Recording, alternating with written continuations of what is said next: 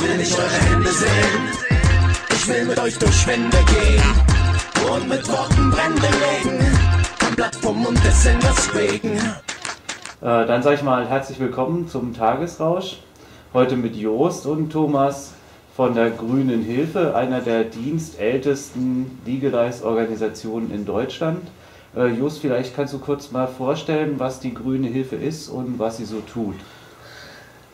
Also die Grüne Hilfe ist ein Netzwerk von äh, Menschen, die sich um Menschen kümmern, die mit dem BTM und dem Strafgesetz in Probleme kommen. Äh, ist das dann mehr eine, eine Anwaltsfindungshilfe oder eine Gefangenenbetreuung oder begleitet ihr die Leute vom, von der Tat bis zum, ich bin vor der Gesellschaft wieder reingewaschen? Wie kann man sich das vorstellen? Also Im klassischen Sinne ist es eine Selbsthilfearbeit, also Hilfe zur Selbsthilfe. Es geht also darum, dass wir Leute aufklären, dass wir ihnen sagen, was ist möglich, was ist gerade aktuell. Ähm, klassisch im Sinne ist zum Beispiel, was ist Strafrecht, was ist Verwaltungsrecht, was ist Bußgeld und äh, da geht es darum aufzuklären und es geht um, zum Zweiten natürlich auch darum, Anwälte zu vermitteln, ähm, die wir auf einer Liste haben, die bundesweit äh, aufgestellt worden ist und da haben wir Anwälte, die sich halt in den Thematiken gut auskennen und die vermitteln wir weiter. Mhm. Äh, Thomas, wenn ihr eine, eine, Selbsthilfe seid, heißt das, dass die Mitglieder des Vereins in aller Regel selbst auch Probleme mit dem Betäubungsmittelgesetz hatten oder ist das bei euch keine Aufnahmebedingung, wie bei den anonymen Alkoholikern zum Beispiel. Da darf man ja nicht mitmachen, wenn man noch nie was getrunken hat. Ich sage es mal mein Beispiel, ich bin aus Interesse zur Grünen Hilfe gestoßen, weil ich halt ein, auch ein Interesse habe an der Pflanze Hanf, so ein ureigenes Interesse und zur Cannabis-Bundeskonferenz in Saarbrücken hat mich fasziniert der Gedanke, dass es halt Leute gibt, die quasi so eine Art Vorprüfung anbieten, ob ich denn wirklich, wenn ich mit dem Gesetz in Konflikt komme, einen Anwalt brauche oder nicht. Mhm. Weil die Entwicklung hat ja gezeigt, dass halt die Verfolgung von kleinen Mengen, von geringen Mengen halt sich zu Ungunsten der Verfolgung im Straßenverkehr verschoben hat. Und da ist es sehr, sehr oft einfach hilfreich, erstmal die Leute aufzuklären, was passiert und wie es passiert. Man kann halt, wir nennen das interne Anwaltsvermeidung. Und das heißt, wenn ich akut ein Problem habe, nicht weiß, brauche ich einen Anwalt, genau, dann kann ich euch genau. anrufen und ihr könnt mir erstmal die, die erste Angst nehmen, sozusagen. Das versuchen wir. Das ist halt wirklich der ureigenste Anspruch, zu sagen, wir sind da, du kannst dich mit uns ins Benehmen setzen wir machen das. Es ist keine Bedingung, dass man vorher selber irgendwie mit dem Gesetz in Konflikt gekommen ist. Was das betrifft, habe ich eine weiße Akte. Mhm. Ich durfte so mitmachen. Ich wurde gleich dort eingeladen ganz am Anfang gesagt, hier willst du ein Regionalbüro machen, war ich natürlich ein bisschen überfordert am Anfang. Wurde halt so von Jo an die Hand genommen, hat mir das erklärt, so und dann hat sich das eingeschliffen. Irgendwann musste man den Schritt gehen, dass ein Verein werden. Das sind die einzelnen Regularien, die es bei uns gibt. So, so nach dem Vereinsrecht arbeiten wir. Mhm. Bundesweites Netzwerk in Form eines eingetragenen gemeinnützigen Vereins.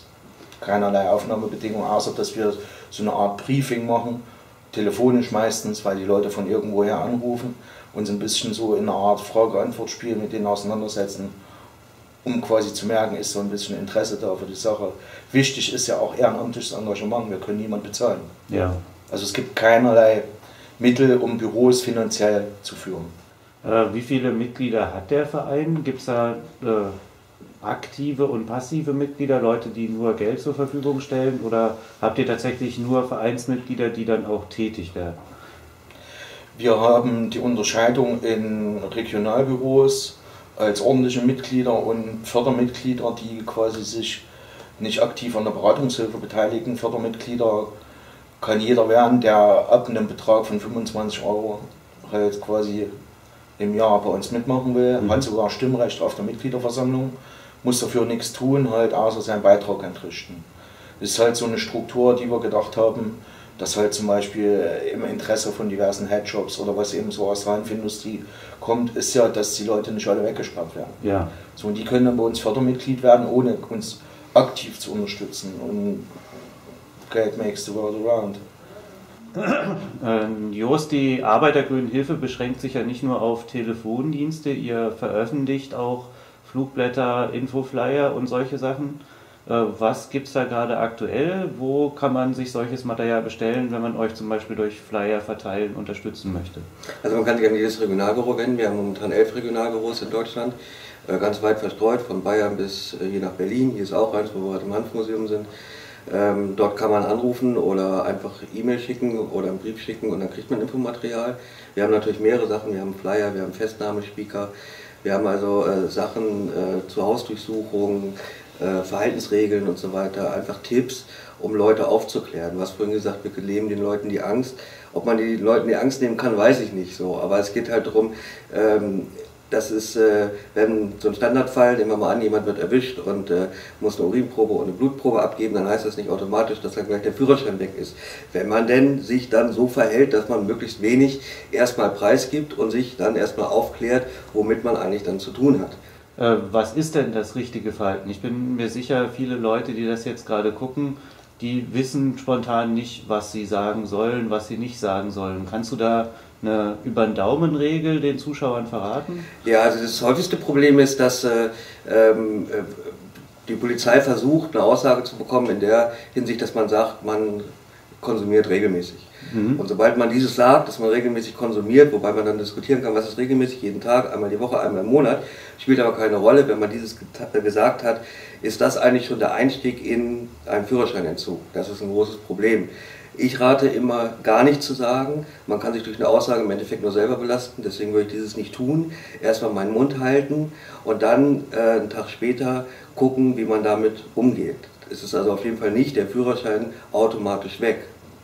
Okay. Äh, könnt ihr den Leuten auch bei Führerscheinproblematiken helfen oder beschränkt ihr euch auf die strafrechtlichen Sachen?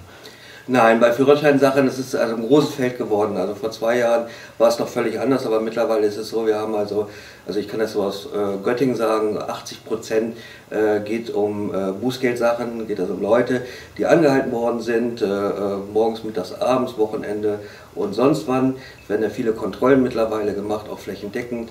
Und ähm, das ist so das En gros eigentlich der Arbeit. So. Und da geht es halt einfach darum zu sagen, äh, was steht an, ja, also zu erklären, was ist Strafrecht, was ist Bußgeld, also Verwaltungsrecht, so äh, hat man äh, dort eine Möglichkeit, sich verteidigen zu lassen, hat man nämlich im Verwaltungsrecht nicht im eigentlichen Sinne, das hat man nur im Strafrecht, also es geht da wirklich um ganz klassische Aufklärungsarbeit, erstmal zu sagen, womit die Menschen konfrontiert sind. Denn das Problem ist, dass äh, die äh, hier in Deutschland sehr perfide kriminalisiert wird. Dass also gesagt wird, wer einen bestimmten Grenzwert hat und den überschritten hat, dass äh, das dazu ausreicht, um den Führerschein zu entziehen. Aber die Grenzwerte sind äh, sehr, sehr problematisch. Das andere, was sehr problematisch ist, dass Cannabis die einzige Droge ist, in Anführungsstrichen, die äh, sehr lange sich im Körper äh, abbaut. Mhm. Und das bringt das häufige Problem äh, für die Konsumenten. Äh, beschäftigt euch nur mit äh, grüne Drogen, also Haschisch und Marihuana, so verstehe ich das, oder kann man sich auch an euch wenden, wenn man Probleme wegen Amphetamine, Kokain, Ecstasy, was auch immer hatte. Der Vorteil unseres Netzwerkes ist halt einfach, dass wir sehr verschiedene Leute sind und mit verschiedenen Interessen. Also ich persönlich zum Beispiel kann dazu ganz wenig sagen, so, äh, aber es gibt bei uns welche, die sich auch mit diesem äh, Thema äh, beschäftigen und das ist halt auch unsere Stärke, dass wir untereinander uns austauschen, vermitteln und äh, dann äh, dem jeweil, der jeweiligen Anfrage auch dem jeweiligen Kontaktpartner geben, der dazu was sagen kann. Mhm. Äh, Thomas, wenn die Zuschauer jetzt spontan eure Arbeit unterstützen möchten, wie können die das am geschicktesten tun? Vereinsmitglied werden, Fördermitglied werden, Geld spenden, wo hakt es da im Moment am größten? Im Prinzip sind es alles Möglichkeiten, die du aufgezählt hast, uns zu unterstützen. Also wir was wäre dir denn am wichtigsten jetzt so Na, mir ist immer die praktische Arbeit am wichtigsten. Also wir haben noch weiße Flecken auf unserer Länderkarte. Als da wäre? Äh, zum Beispiel haben wir nichts in Mecklenburg-Vorpommern. Sachsen ist sehr schwierig. Bayern hängt gerade ein bisschen in der Luft. Baden-Württemberg wird im Moment bedient.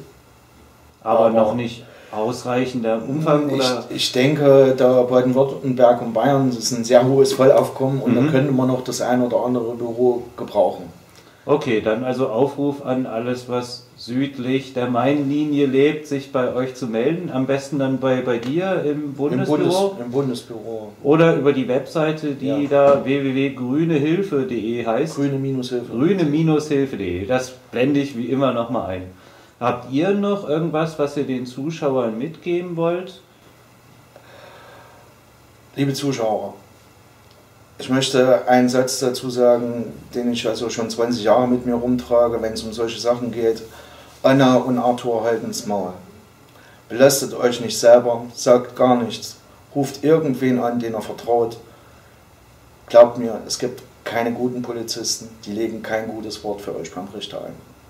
Okay, das waren sehr deutliche Worte, die ich so auch unterschreiben möchte. In, dann danke ich euch für das Interview, hoffe, dass ihr weiterhin erfolgreich äh, Anwaltsvermeidungsarbeit leisten könnt und dass es euch in ein paar Jahren nicht mehr geben muss. Vielen Dank. Tschüss. Tschüss. Ich will nicht eure Hände sehen. Ich will mit euch durch Wände gehen und mit Worten Brände legen. Ein Blatt vom Mund des Singers wegen.